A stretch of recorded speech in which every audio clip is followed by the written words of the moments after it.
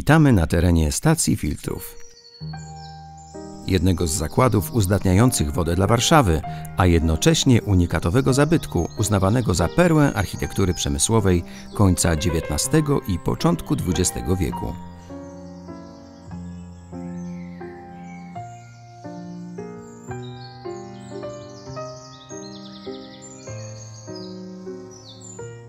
Ale jak to się zaczęło?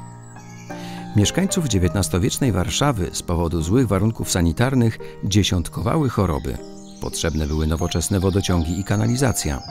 Ich budowę zawdzięczamy Sokratesowi Starynkiewiczowi,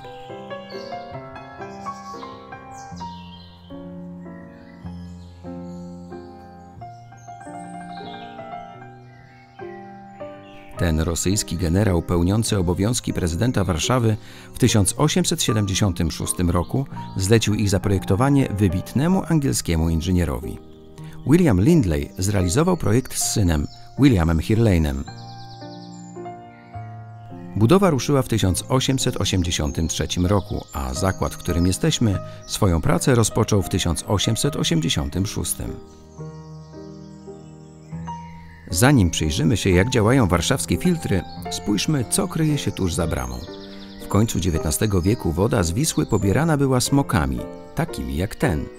Wystarczy odrobina wyobraźni i już wiadomo, skąd wzięła się ich nazwa.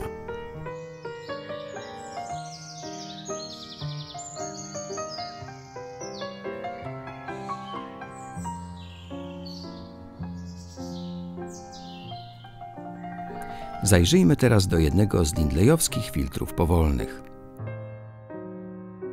W tych niezwykłych murach do dziś odbywa się jeden z etapów uzdatniania wody. Woda bardzo wolno, 10 cm na godzinę, przesącza się przez kolejne warstwy piasku i żwiru. Filtry powolne nie mogłyby się zatem nazywać inaczej. Ich głównym budulcem była niezwykle trwała, najwyższej jakości cegła, taka jak w zbiornikach wody czystej.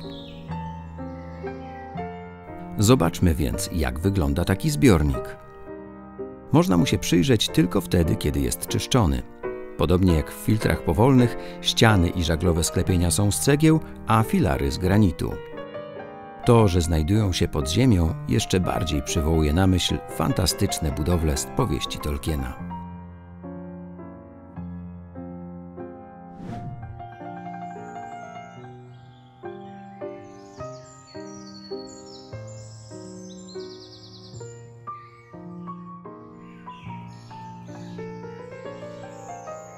Wróćmy na Ziemię, do zakładu filtrów pośpiesznych, gdzie odbywa się kolejny ważny etap uzdatniania wody. To prawdziwa architektoniczna perła dwudziestolecia międzywojennego. Budynek ma iście pałacowe wykończenie. Na fasadzie witają nas dwie płaskorzeźby czystość i pragnienie. Zapraszamy do środka. Na uroczystości otwarcia w 1933 roku gościem honorowym był prezydent Ignacy Mościcki. Nic dziwnego, był to wtedy najnowocześniejszy zakład tego typu w Europie. Klimat wnętrz został zachowany. Przy każdym zbiorniku w zabytkowych marmurowych konsolach sterowniczych dziś kryje się współczesna elektronika, a proces technologiczny odbywa się automatycznie.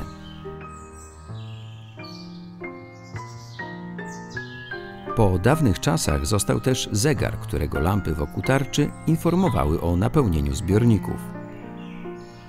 Lindley przewidział, że stacja filtrów wraz z rozwojem miasta będzie rozbudowywana, ale pewnie nie śnił mu się taki zielony ogród na dachu budynku, w którym dziś odbywa się ozonowanie. Proces wdrożony już w tym stuleciu. Chętnie odpocząłby tu, podziwiając dzieło swoje i kontynuatorów.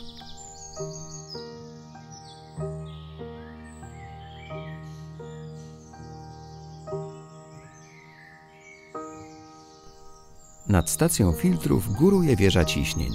Dziś pełni rolę wyłącznie zabytku i tak jak pozostałe historyczne obiekty, jest otoczona troskliwą opieką kolejnych pokoleń pracowników wodociągów warszawskich.